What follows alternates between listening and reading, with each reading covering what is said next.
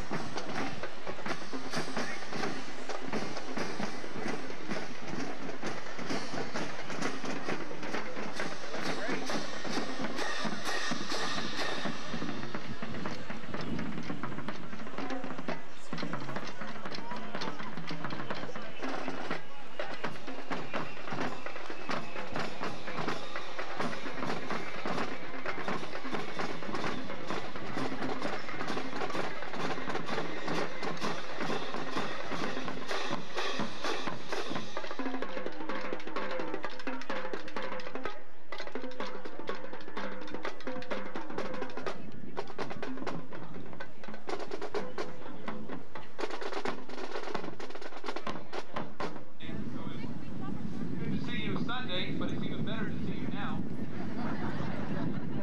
I, I would like to say we had an ideal week in more ways than one. First wa- ways was the weather.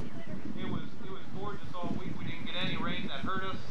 It was almost cold one evening, but it was it was perfect August weather for band camp. And we just had a, a super time. What we just did was our 94 pregame, and we'll be doing that obviously before all the home games, and we'll also be doing that before the Bengals game. Part of it, they probably wouldn't appreciate it, the script Lakota, but we'll be doing most of that show at, at the pregame of the Steeler Bengal game in December.